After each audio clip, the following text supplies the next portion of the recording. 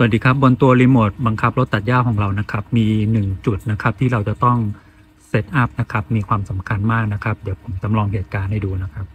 ในขณะที่เรากำลังใช้งานอยู่นะครับ สมมติผมเดินหน้านะครับ แล้วเกิดรีโมทดับนะครับ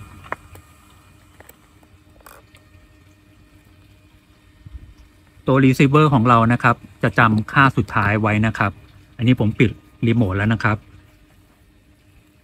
ตัว receiver ของเราก็ยังทำงานรถของเราก็ทำงานอยู่นะครับ เดี๋ยวเราจะมาแก้ไขจุดนี้กันนะครับ ที่ตัวรีโมทของเรานะครับ ขออภัยเรื่องจอด้วยนะครับ เพราะว่าจอของผมมันไม่ค่อยดีแล้วนะครับ กดปุ่มโอเคค้างไว้นะครับ เลือกเมนู System Setup นะครับ กด up down เลือกนะครับ System Setup กดโอเคนะครับ เลือกเมนู RX Setup นะครับ กดปุ่มดาวลงมา แล้วก็มาเลือกที่ Fail Safe นะครับ Fail Safe กดโอเคครับ ตอนนี้นะครับก็จะมี 6 Channel นะครับ 1 2 3 4 5 6 ทุกตัวเนี่ยจะเป็นสถานะออฟนะครับ เราเปลี่ยนตัว Channel 1 กับ Channel 2 ครับ ที่เป็นตัวบังคับนะครับ ให้เป็นออนนะครับ โดยการเลือกนะครับ Channel 1 กดโอเคนะครับ เข้ามาตอนนี้เป็นออฟอยู่นะครับ กดเปลี่ยนนะครับอัพดาวนะครับให้เป็นออนนะครับ กดโอเคนะครับอตอนนี้ของผมมันลบ1%นะครับก็ไม่ต้องตกใจนะครับ จริงๆ ต้องเปลี่ยนให้เป็น0%นะครับเดี๋ยวดูวิธีเปลี่ยนช่อง 2ก่อนนะครับ ช่อง2 channel 2นะครับ กดโอเคนะครับ เปลี่ยนสถานะเป็นออนนะครับ แล้วก็กดโอเคนะครับ เดี๋ยวผมจะเปลี่ยนให้เป็น0%นะครับ วิธีเปลี่ยนเป็น0%นะครับอ่า channel 1นะครับ แล้วเราก็มาเลือกทริมทริมนะครับทริมตรงนี้นะครับ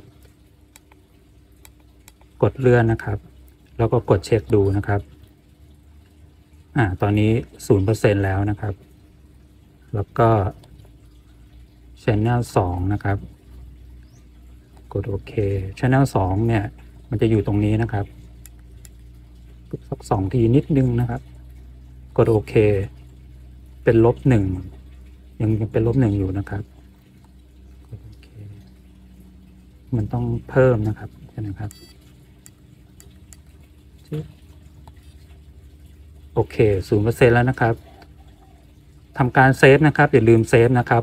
กดต้องกด cancel ค้างไว้นะครับโอเคออกไปนะครับ เช็คความถูกต้องอีกทีหนึ่งนะครับ กดโอเคค้างไว้ set up system นะครับ rx set up แล้วก็